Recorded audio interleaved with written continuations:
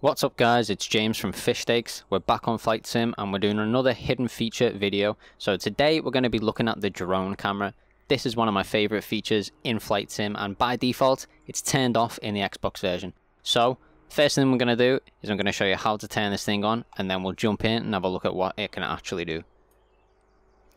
So you're going to want to start by coming to your main menu and going to controls options. Now once we're in controls options, obviously we want to be on controller. Now interestingly, this one's so well hidden that I can't find it in any of these menus. So what I had to do was go to search by name over here and we're going to type in drone.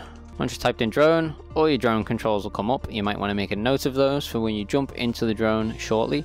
But what we are looking for is this section here, camera mode switches, and you'll see toggle drone. Now, by default, both of these boxes are blank and you will have to set your own keybind. So to do that, what I'll do is I'll clear this. So this is what you will see when you first come onto it. Press A on start scanning and input whatever keybind you want. I'm going for hold left stick and then press the back button because that doesn't interfere with anything else. And then once you're done with that, you can hit validate and then just hit B to back out of that menu and apply and save. So now your drone camera is on, we can jump into the world map and we can see what this thing can actually do.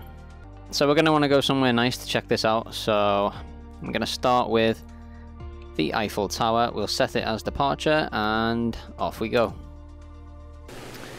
So here we are cruising over Paris, we've got the Eiffel Tower to our left there and all we're going to do to activate our drone camera, you can do this from the cockpit, you can do this from your external camera, whatever you want. We're just going to push in our left stick, and we're going to hit back. And we are now in the drone, so we can actually leave. We can actually leave our plane, there it goes. And we've now got this drone that we can take wherever we want, get some cool shots of the Eiffel Tower, whatever we want to do. Now, obviously, you might be wondering, well, what's going to happen to the plane? That is going to keep flying. I'm not even sure it's gone. There it is. Um, if your plane's in autopilot, then it'll fly on its own. If not, then um, it might crash. So there is a safer way to go about this if we just jump back to the plane, which you can do by pressing the exact same combination to get back. So what I'll do is I'll take this plane closer to the Eiffel Tower. So here we are just coming up on the Eiffel Tower now. And what we're going to do is we're going to hit left stick and then we're going to hit A on this toggle active pause section here.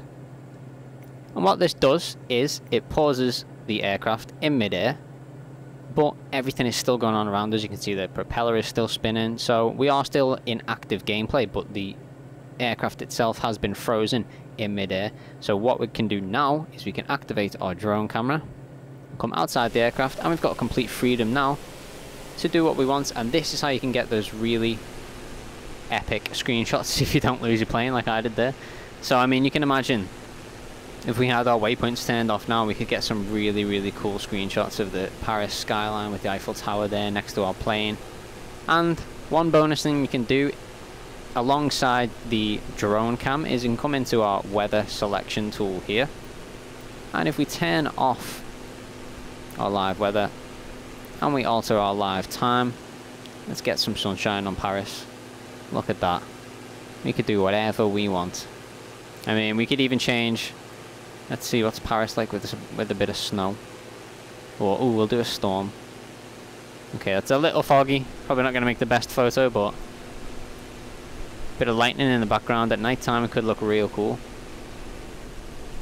But yeah, with this weather tool, it really means that we can get the perfect... Let's go clear skies. We could get the perfect photograph, whatever it is we've come out for.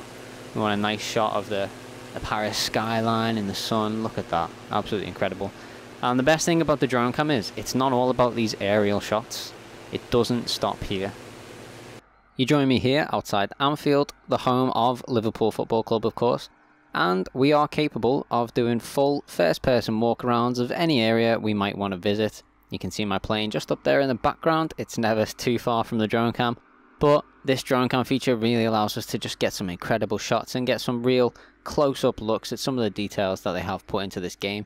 There's the store, the Liverpool store just outside Anfield, and we can fly up and we can get a good look inside the stadium and see what kind of a job they've done at fleshing it out. And I have to say, it's all there. It is very, very close. It's of course not completely accurate, But for a flight sim, I have to say the level of detail they've gone to to flesh some of these places out really is incredible.